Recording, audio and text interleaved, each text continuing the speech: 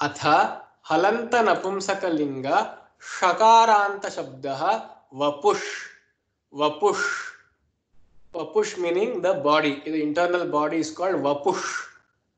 वपु, वपुषी, वपुंषि। वपु, वपुषी, वपुंषि। वपुषा वपुर्भ्याम वपुर्भिः। वपुषे वपुर्भ्याम वपुर्भ्यः। वपुषः वपुर्भ्यां वपुर्भ्यः, वपुषः वपुषो वपुषा वपुषि वपुषो वपुषु वपुषु ओके? वपुः वपुषि वपुंषि। वपुष meaning the body in the बहुवचन you see you are elongating the ऊ चेंजिंग टू वपू and then you are putting the extra ma in between. So you are getting vapumshi vapumshi vapumshi okay? And the rest follows as usual. In the haladi you get vapur. Why? The sha is changing to visarga first okay? And then you do the rephadesha because it is a mridu vyanjana.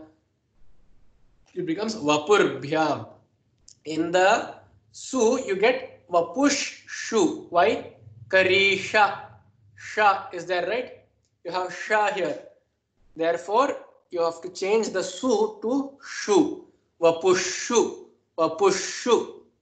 Similarly with dhanush. Dhanuhu dhanushi dhanumshi. Dhanuhu dhanushi dhanumshi.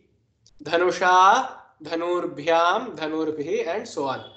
Dhanush meaning the bow fire and uh, you fire an arrow right? That bow. Ayush meaning lifespan. Havish now this is an ish e but it goes the same. Havihi havishi havimshi. You are elongating u to become u. If you elongate e it becomes e. Havimshi. Havisha havirbhyam havirbhihi.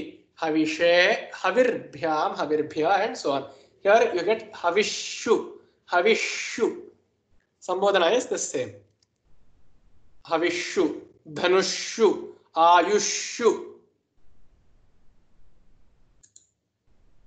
धन्यवाद।